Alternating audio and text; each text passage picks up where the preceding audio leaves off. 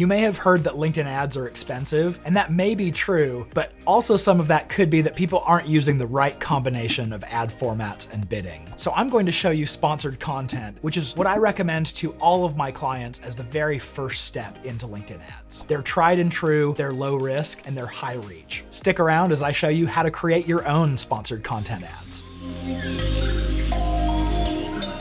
Sponsored content ads are by far my favorite type of ad format. And the reason why is because they're so good at reaching people because they're right in your newsfeed. And that's the first place that you go on LinkedIn. They're also a nice middle of the road ad format. They're not LinkedIn's least expensive, and they're certainly not LinkedIn's most expensive click. So lots of reach for kind of middle of the road prices. They're also very versatile. You can have video or carousel, or you can run LinkedIn lead gen form ads off of them. So pretty much whatever you want to do with ads, sponsored content has the right way to do it. Let's jump in and I'll show you how to start creating these right now. So as soon as you get to your dashboard, you want to click into the campaign group that you want to start with. I'm just gonna start with default campaign group because you definitely have this in your account. Then here we click create campaign. At this point, you get to choose an objective. Now definitely check out the video we did all about objectives to see which one you should choose. But just for fun, I'm going to go with website visits. Once we've chosen our objective, now we get to get into the targeting. I want to go after an audience of social media marketers because we want to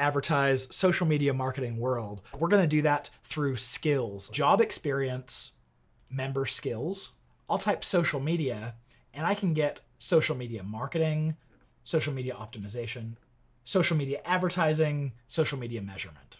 Now, after selecting just skill in the US, we get 8.5 million people, which is quite large. I generally recommend audience sizes between about 20,000 to 80,000. So if we want to further qualify these people a little bit more, there might be some other things I take into account. I'm going to come to narrow audience further. Maybe your company wouldn't be willing to send you to a conference if you had fewer than, let's say, 10 employees. So I'll go to company here and I'll say company size, and we're gonna shoot for maybe we even do 51 and above. So that brings us to 4.2 million. And I may want to also qualify this a little bit by seniority. So I'll come to narrow audience further and job experience and job seniorities. While anyone can get value out of a social media marketing conference, we're gonna focus just on managers. And you can see by selecting manager, we get a target audience of 560,000, which is still a little bit bigger than I'd like to be. Now I'm gonna filter down a little bit by interests. So if I go to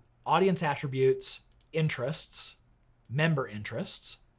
There's a marketing and advertising. And then under digital marketing, I wonder, yeah, we have a social media marketing interest. These are people who have engaged with with posts on LinkedIn about social media marketing. That takes us right to 50,000, which is the range I want to be in. So now that we've selected who our audience is, I'm going to make sure I've unchecked this box, enable audience expansion, and I come down and choose my ad format. I would almost always recommend a single image ad. You can do a carousel like we can on Facebook or video, but video you need creative and video tends to be expensive on LinkedIn. And carousel, it just means you have to create multiple ads every time you create an ad, and it doesn't give you much of a performance benefit. So let's stick with single image ad here. The audience network, you can take it or you can leave it. I like it when you have small audiences that you're trying to get in front of them as often as possible. But for this, I don't think we need it. Then you come down here to the bidding and budgeting section, set a daily budget for wherever you're comfortable. We'll stick with about $50 per day. And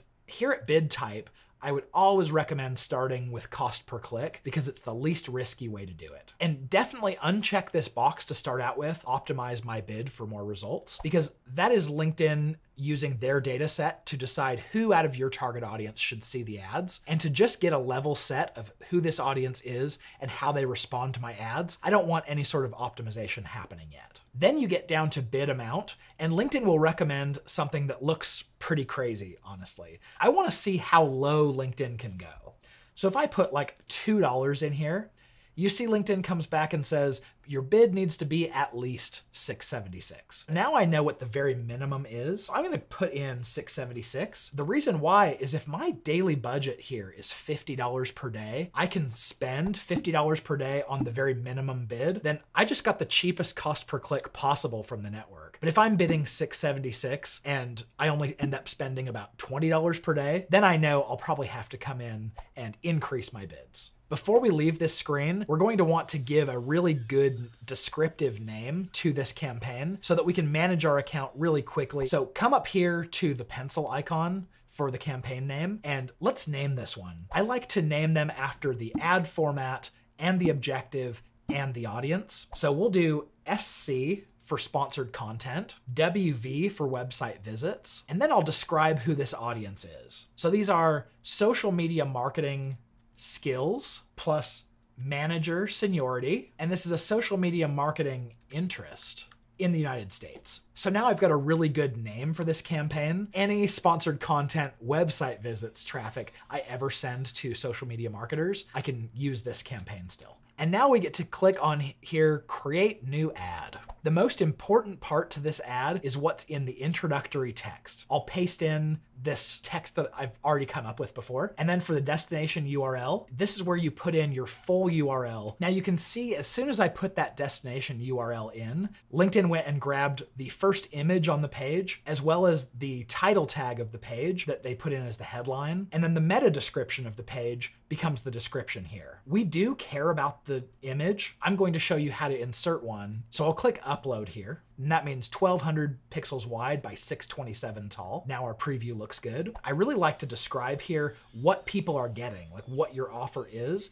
as well as give it a name. We're explaining what someone is getting. It's attending the top social media conference and then we're giving it a name. It's Social Media Marketing World 2020. The intro text is the most important part of the ad. The two pieces that you want to make sure you get in here number one, why you should pay attention, and then number two, a call to action. For social media marketers, listen up. Social Media Marketing World is the one event you need to attend this year. So that's effectively why you should pay attention. And then we want a shorter call to action. I have register now, but that could be uh, come check out the conference. Then down here in description, literally you can put whatever you want because for some reason this field is never seen anywhere. So you can leave it blank. Finally, your call to action here. In this case, it might be something like learn more or register. Attend is actually really good for a conference. When I click create here, if this checkbox is selected, this will automatically be added to the campaign that I'm building. And that's what I want to do. So when I click create, now you can see the status of this ad says campaign in draft. So as soon as we hit next,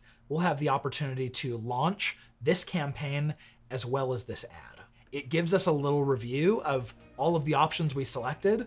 And once we hit launch campaign, this campaign will be live. So if you followed along, this will give you exactly what you need to launch your own sponsored content ads. So now that you can run sponsored content ads, click on the playlist here on your screen to see how you can create all of LinkedIn's other ads in case you want a little bit of variety.